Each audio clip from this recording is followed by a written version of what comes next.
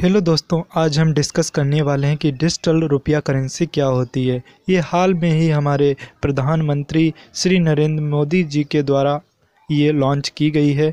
ये एक नवंबर 2022 को e digital currency pilot project के तौर पर लॉन्च की गई है।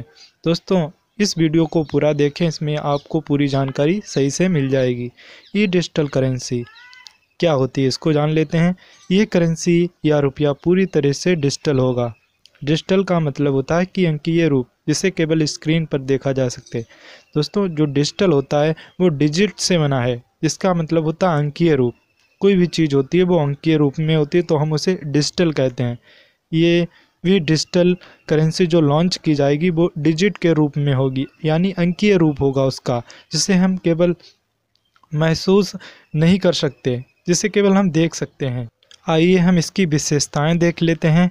इस प्रकार की करेंसी को हम केवल स्क्रीन पर ही देख सकते हैं। इसे छुआ नहीं जा सकता, अर्थात महसूस नहीं किया जा सकता। जैसे जो हमारी ऑफलाइन करेंसी होती है, उसको, जिसे हम नोट बोलते हैं, उसको हम छू सकते हैं। महसूस करते हैं कि ये रुपए हैं, ये नोट्स हैं। डिजिटल करेंसी को एक स्थान से दूसरे स्थान पर आसानी से ट्रांसफ़र किया जा सकता है। इसमें चोरी या लूटपाट का खतरा ना के बराबर रहता है। इसीलिए एक करेंसी बनाई गई है डिजिटल करेंसी दोस्तों, अब हम जानने वाले हैं कि जो आर ने जो डिजिटल मुद्रा लॉन्च की है, इसकी क्या वजह रही होगी? क्यों इसे लॉन्च किया गया? इसकी ज़रूरत क्यों पड़ी? ये यूपीएससी में पूछा जा सकता है इंटरव्यू में। तो हम बता दें दोस्तों, जो ब्लैक मनी को रोका जा सकता है इसके ज़रिए और भ्रष्टाचार पर लगाम लगेगी। जो करप्शन है, वो हो रहा है, उस पर हम इसके द्वारा आसानी से लगाम लगा सकते हैं।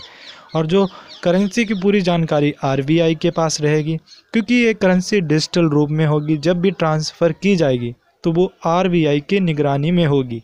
और उस पर जो आरबीआई संस्था है, जो हमारे देश की, वो इस पर पैनी नज़र बनाए रखेगी कि कहाँ से कहाँ तक कितना ट्रांसफ़र हो रहा है।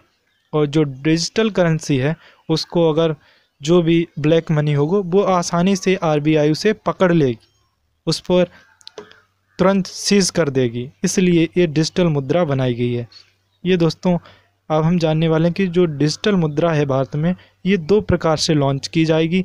पहला है होलसेल ट्रांजैक्शन दूसरा है रिटेल ट्रांजैक्शन दोस्तों, ये दो प्रकार से लॉन्च की जाएगी। एक होगी होलसेल और दूसरी होगी रिटेल ट्रांजैक्शन कई देशों में डिजिटल करेंसी का उपयोग ज़ोरों शोरों से हो रहा है। जैसे अमेरिका में बिटकॉइन नाम की डिजिटल करेंसी उपयोग में लाई जाती है और भी विभिन्न ऐसे देश हैं जहाँ पर डिजिटल करेंसी का इस्तेमाल किया जा रहा है। इसी को देखते हुए भारत ने भी ये कदम उठाया कि हम अपने देश में डिजिटल करेंसी लॉन्च करेंगे और जो भी जो भी हमारा व्यापार वगैरह होता है ट्रेड वगैरह होता है, उसको उसमें आसानी और ट्रेड को बहुत ज़्यादा इजी बनाया जाएगा। जो भी व्यापारी लोग हैं, जो विदेशों में जाते हैं, वो ट्रांसफ़र अपने पैसों का ट्रांसफ़र बहुत ही आसानी और सुगम तरीके से कर सकते हैं। इसलिए डिजिटल ई रुपया करेंसी का की ज़रूरत पड़ी अपने भारत देश में। दोस्तों, इसी तरह से यूपीएससी से जुड़े टॉपिक की वीडियो पाने के लिए हमारे चैनल को लाइक एंड सब्सक्राइब करना ना भूलें और हमें निरंतर सुझाव देते रहें कि आपको किस तरह की वीडियो चाहिए, जिस तरह की आपकी वीडियो अगर अपनी बनवानी हो तो आप कमेंट कर दीजिए। हम उस पर तुरंत ही एक्शन लेंगे और उस टॉपिक पर वीडियो बनाएँगे। जय हिंद, जय भारत।